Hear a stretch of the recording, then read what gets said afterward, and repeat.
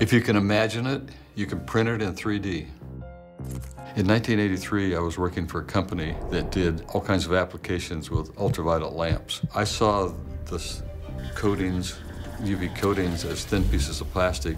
Maybe I could stack them up in some way to get quickly prototype parts. The process uh, used a vat of a photopolymer.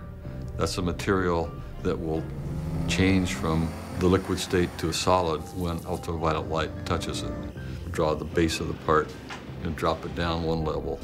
After it's all finished, it would pop up and you would have the printed part. So this process that I described, this apparatus, was the first 3D printer in the world. Part of the process was also how do you get the data from a computer? So we developed a format so that whole method is used in the whole 3D printing industry uh, today. You know, I was interested in commercializing the process. Again, the president of the company said, you know, I don't really have the money to do this. And so I agreed with him that I would spin out a new company, and I did. We started 3D Systems.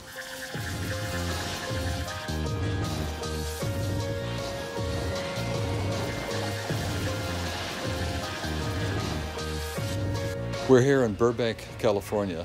This is a facility where we serve the entertainment industry. It's just one example of what can be done with 3D printing.